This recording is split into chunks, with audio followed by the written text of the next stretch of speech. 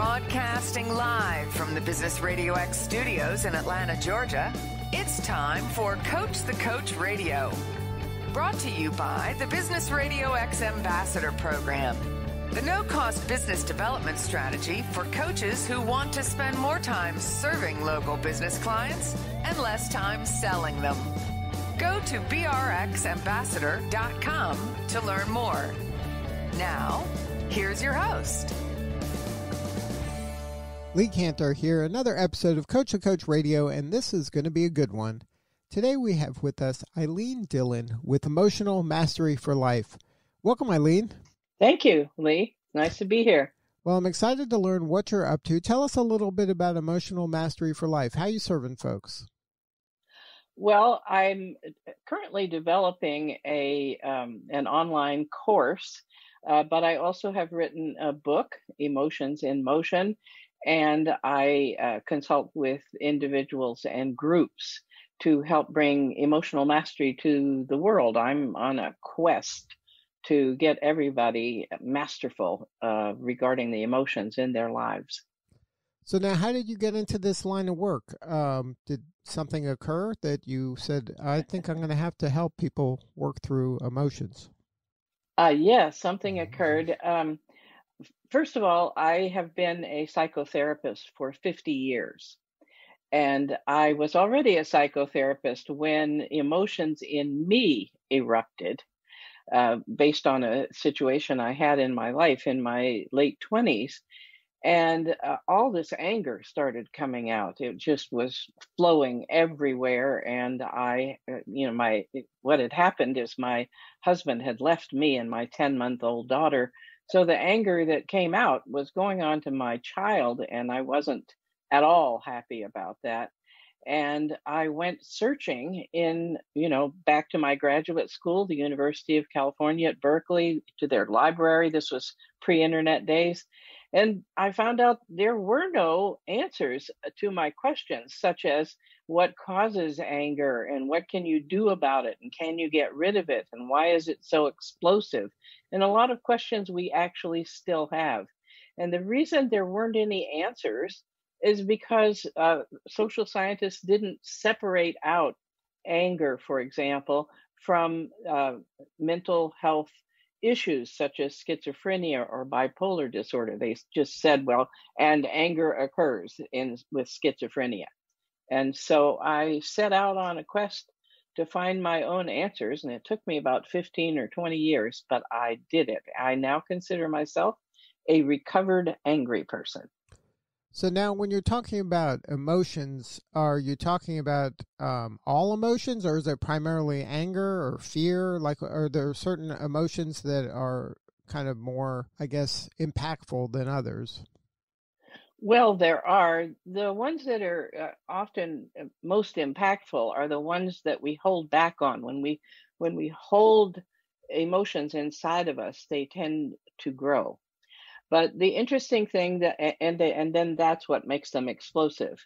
Uh, so the interesting thing was that the more I learned about anger, the more I realized that all emotions essentially follow the same process um, I came to understand our Earth as a giant school, Lee. And we, what happens is we have experiences that gives us an opportunity to learn something. And with those experiences come emotions. Now, emotions are energy. We call them emotions, emo- energy in motion. Um, and, and so they're energy. And what we've learned to do over generations is to block that energy from moving but it works just as if you tried to block water from moving. It builds up pressure, it seeks a way out, it's constantly agitating to get moving again. And that's what causes us human beings problems. Uh, so I uh, first I dealt with anger, and then I realized that all emotions follow the same patterns. They're all energy. You can't create them, you can't destroy them. Uh, they need to move. And also, every emotion has a message for us. For example, loneliness. Most of us think that we get lonely because we're alone, but actually, you can feel lonely in a crowd or in a marriage. So the issue of loneliness is not being alone, it's that we have more of our energy going out than coming back in. We're not being loving enough to ourselves, is another way of seeing that. And so once you know what each emotion is telling you, and I have 12 emotions listed in my book, Emotions in Motion, uh, once you know what it's telling you, then you can work with it to resolve the lesson that has come up in your experience. And that's the way we move through um, through life. So I see emotions as messengers and tools for helping us to navigate our lives. And then once you kind of understand them, then you can unlock them and then kind of manage them better. Well, you see, you're using the word manage. I use mastery because manage is like corralling them. And what I've noticed with management is you have to go back all the time and redo it. And with mastery, you don't you uh, you can you develop you can never get rid of emotions but what you can do is reduce them to a small place in your life so that they come up and you go oh anger's coming up. That's giving me this message over here. How can i use that to deal with this life situation? Once you use it then you turn it loose and it moves on. The energy moves. If you don't do that and we all have these experiences. What happens is we go through the same issues over and over and over again, maybe with a different cast of characters. And every time we hit that same issue again, it's a harsher, uh, more difficult lesson. And that's an interesting thing to me. I've found as a psychotherapist that most of us don't like to change. So we wait until the pain of where we are gets to be so great we think it couldn't be any worse if we make sh- uh, make a shift or learn the lesson. Uh, but interestingly if we make a habit of learning the lessons then that pain doesn't build up and we don't repeat those patterns. In fact we change almost immediately when we learn the lesson. So it's kind of a light bulb moment you, yeah, I think you could see that, uh, but it's a it's a whole system light bulb. It's like, oh, that's it. Okay, all right, we've done that. We've, you know, like with loneliness. Let's go back to loneliness. Um, if I start feeling lonely, now I travel the the uh, North America in my RV, and I'm alone. I do have a little dog with me, but I travel alone and um, people go, "Oh, doesn't that take courage? Doesn't that? Aren't you lonely?" Well, I'm not lonely. Now, that doesn't mean that loneliness never comes up. It means that when it comes up, I go, "Oh, I have more energy going out than coming in. How can I bring energy in?" The best way to bring energy in is to do something we have a talent for but and we can also do things like go for a walk or read or dance or whatever it is that that brings energy to to us and isn't putting it out in the world or to other people. And we will then move right through any loneliness. Uh, so if you call that a light bulb moment then that's what it is. Now how did you kind of um, land on the 12 emotions?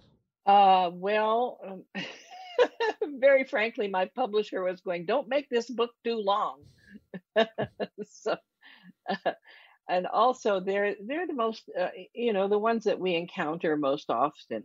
They're guilt and fear and hurt and loneliness and um, uh, what else have I got? Stress and anxiety and anger. Um, so and and jealousy. They're the ones that we encounter most often in our lives. Uh, so another thing I would mention here, Lee, is we tend to think of some of those emotions as negative emotions. There's no such thing.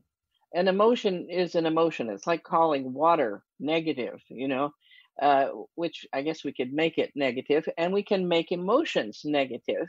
Uh, and the way we do that is we hold on to them. We don't let them move. And every time we hold on to them, they grow in power and they grow in strength and they agitate to move so they can cause us problems. Uh, anger, eh, which I endured for a few years, anger held on to, uh, well, first of all, it can destroy your self esteem. It can get in the way of your success. It can make you mentally or physically ill. I mean, it's very powerful to keep anger inside of us. And yet, most of us do, thinking that we're controlling it or managing it. Now, I know uh, you didn't mention this one, but uh, how would you kind of um, deal with, say, happiness is the emotion you're trying to master? or joy that some the people that are chasing you know that that um, ephemeral happiness yes well that's an that's an interesting question um, uh, whatever we pay attention to we feed energy to and we tend to become so if you're not happy uh, then you need. I, I just I just reached uh, Amazon bestseller status with a book on happiness, of which I'm a collaborative author, and and we're all writing about happiness. You pay attention to happiness, you uh, you allow it to come. Most of us are forcing things all the time. You know, I have this goal, I've got to get there. What's in the way? What's the problem? When you focus on the problem, it grows when you focus on where you want to go and what you'll be like when you get there, then that grows. So if you wish to be happy and you want to master happiness, then you focus on what will I be like when I'm happy? What makes me happy? How could I be happy in this particular situation? is this thing that I'm doing bringing me happiness? So you focus there instead of, oh my goodness, I'm so unhappy. What's the matter with me? How did I get so unhappy? I've been happy, unhappy for so many years.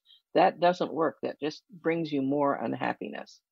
Do you find that a lot of this is because um, people have maybe uh, the expectation of what life will be like when that future goal is there and when they get the goal it isn't how they imagine it to be so then that kind of disparity creates the stress or the kind of negative emotion that you were talking about earlier?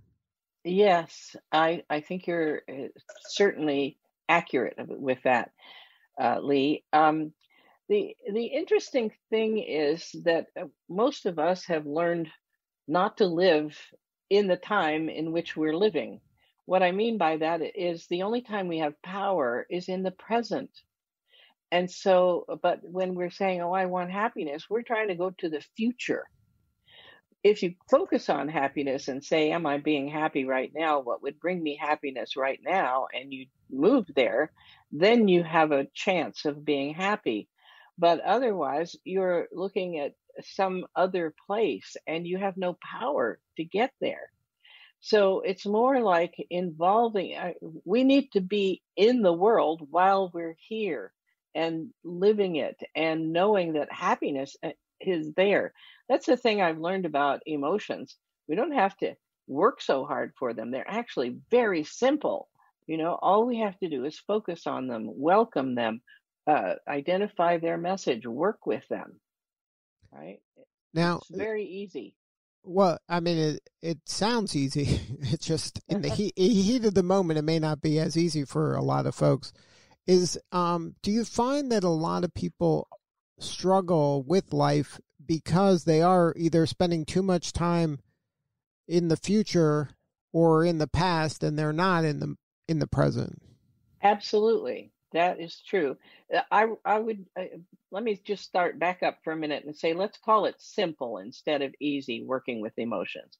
The process is simple.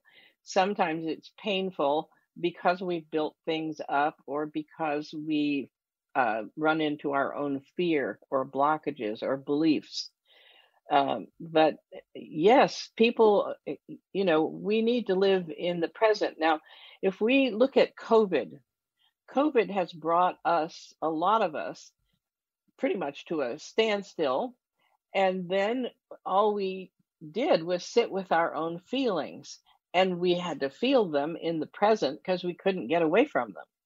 So we're actually at a wonderful time to begin working with emotions as we experience them in the present and yes, like guilt focuses us on the past. It's like, oh, I did that in the past. I don't want to do it again. I'll feel guilty.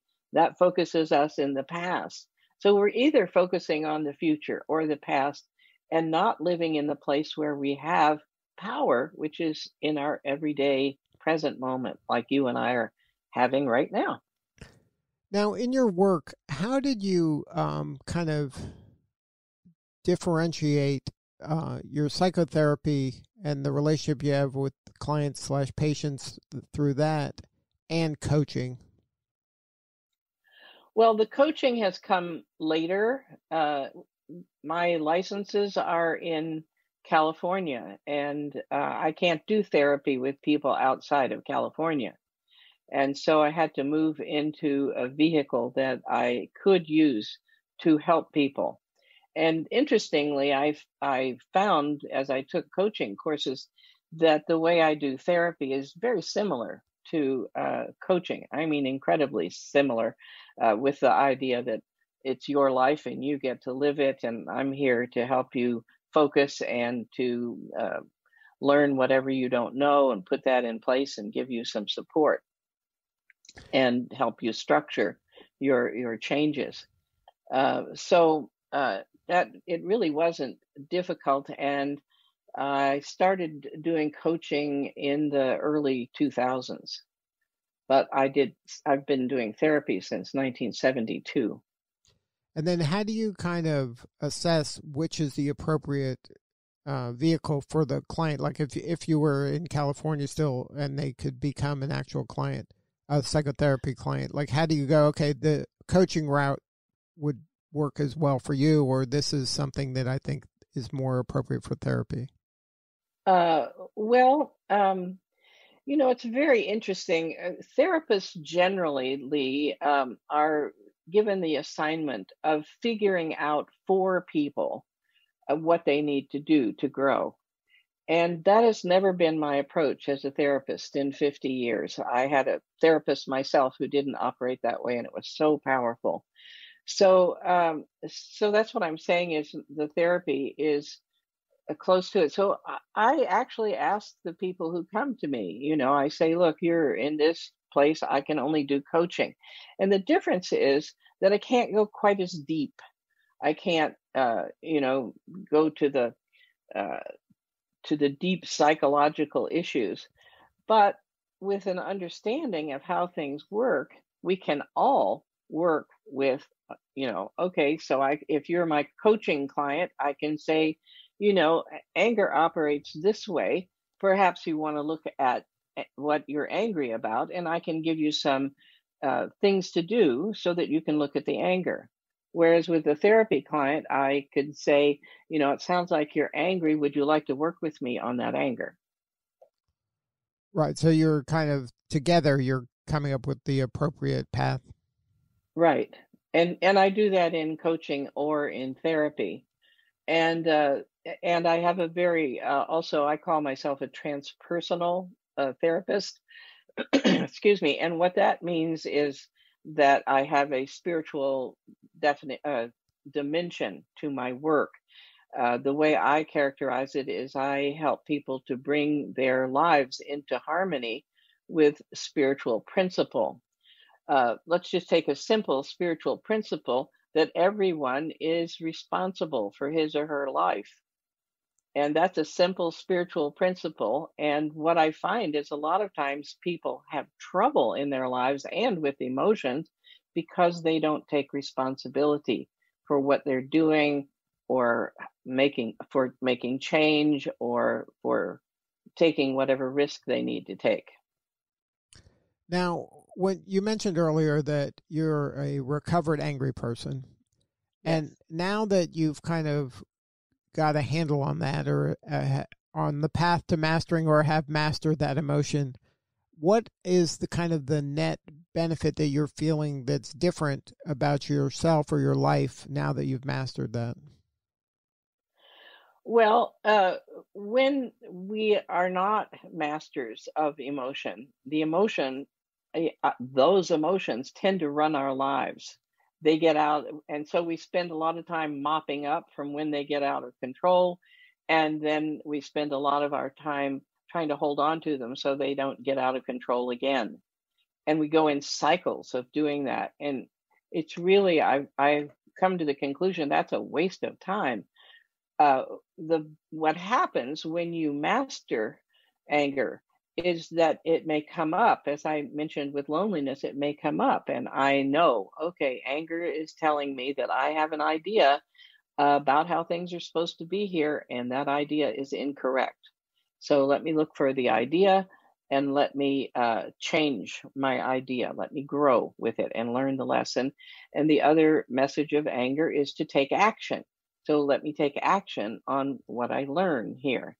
When i do that I just move right through. There's no buildup of anger. I don't have to control it. I learned the lesson. And as I mentioned before, the minute I learn the lesson, it's over. So I don't have this coming back up again. So ultimately, getting in charge of uh, uh emotions through mastery leaves me in a situation where I'm calm, I'm not stressed. Uh, when something comes up, I know what I need to do to deal with it. When I deal with it, I move on. And the interesting thing about going for mastery is it lasts. So um, it's almost like not being angry anymore. Almost, you can't totally get um, get rid of anger uh, of emotions of motion of energy, the energy of emotions. You can't totally get rid of it. Now, doesn't this require you to have some sort of self awareness that this is an issue? And most people are lacking that that they don't connect the dots that hey maybe i'm angry or they're just like oh my parents were angry so oh this is just normal.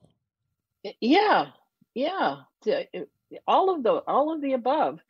And that's part of my quest. I've been working on this since the 70s you know sharing what i learned for myself with my clients and my speaking audiences and my uh, in, uh, my podcast audiences uh, the the point now, Lee, is that it is time for us to learn about emotions. We are going through a huge transition. And part of the transition is that we're recognizing that we're energy beings.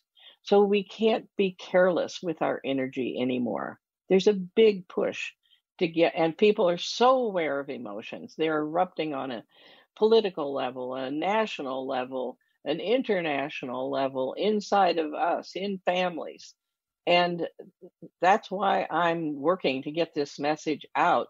This is not the way we're intended to live. We're intended to live in harmony with emotions and have those emotions help us. It's like we've gone to school with uh, tools in our backpack uh, that our parents set there for us. And we're here in this giant school and we don't even bother to open the backpack. We don't even know what's inside. And it's time for us to know inside what's inside and it's time for us to use it.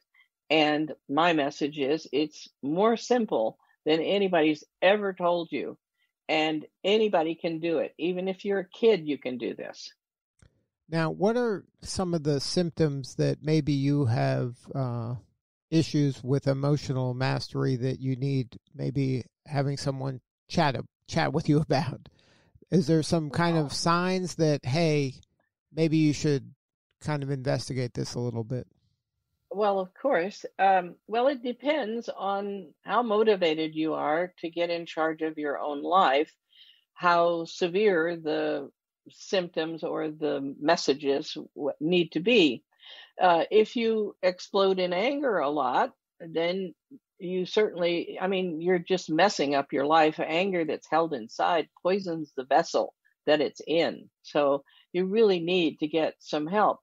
Uh, I no longer uh, do fear or guilt or jealousy or uh, a number of emotions. And what I mean by that is they take up a minuscule amount of my bandwidth. So if you'd like a, uh, to have emotions take up a to work for you the way they're designed to work for you, but still take up a minuscule amount of your bandwidth, then you want to learn to master emotions. If uh, you know, a lot of us believe that we're supposed to struggle. And a lot of us believe if our parents had anger issues, then we have to have them too. Well, we may have learned them from our parents, but we don't have to keep them. So this uh, messaging of mine is and always has been, you know, you can do this. It's important to do it, and here are the tools. Now, if somebody wanted to learn more and uh, maybe talk to you or somebody on your team or get a hold of uh, one of your books, what is the website?